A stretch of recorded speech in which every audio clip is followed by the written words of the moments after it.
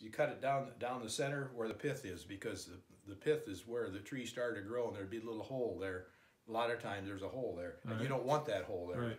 So the only way to get it is to make your bowl so that you eliminate it by cutting down through the center. So you're gonna start off with that, and it's gonna end up looking like one of those bowls in that table. Over When there. we're done, it's, it's gonna look something like something like this. Not quite that big. It'll probably look more like oh, about this size maybe. It'll- Wow, when we're done, we're gonna have something about like that, cool, awesome. that size.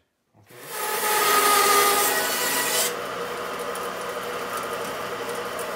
I got- I got scads of these. There's more, just in case you didn't wonder. I wow, got more. You got a bunch. yeah. But but once again, probably half of these I bought at yard sales. Right. I go to some yard sale, a guy'd have two or three, and what do you want for them? Five bucks? Okay, I'll take all three of them Right. because this is a ninety dollar tool. Oh yeah. Wow. This is an eighty dollar tool. Here. These tool these two tools are basically the same thing. And I've used that one and ground it down till it's that, but that's that's about fifteen Wow. years of use to get That's to there crazy. like this. And so when you're cutting, you know, your your Right. your forces and torque are all out here, obviously. But that's why you've got a big lever here and a short one there because you don't want to just shove this in here, but you do have to contact the wood. And when you do, there's going to be some friction and gripping. So you got to hang on to this end pretty tight. You don't want the tool to get away from. it. And I, and I expect it to cut on this edge here. I'm going to cut it on this this this edge, not this one. Okay. And I'm just going to come in until it till I make contact with it. You can just kind of come across and see because sometimes it's, it's rough.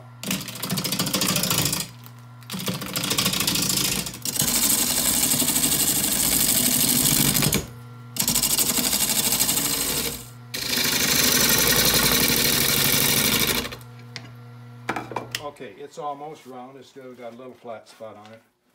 Let's see, we've pretty well got it rounded. Yeah. See, there's bark, this bark section here. I need to bring this down, mm-hmm. cut it down to about in here, maybe. Right. So that's another thing with a bowl. You don't know exactly what you're gonna get with a piece like this, cause you just have to get rid of the bark and cracks or anything else that's in there.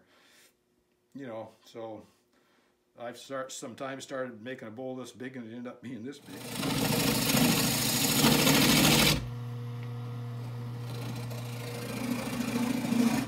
I'm gonna use, I'm-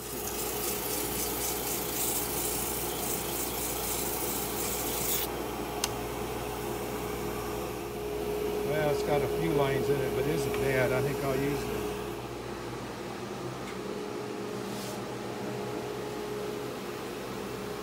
Make this one about about here. Just guess at this. So I'm going to take this and push in and make a groove.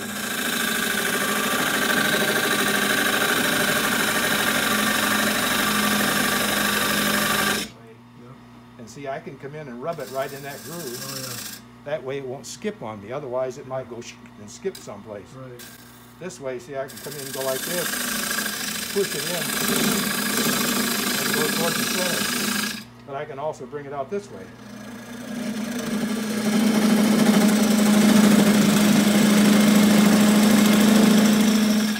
Slow.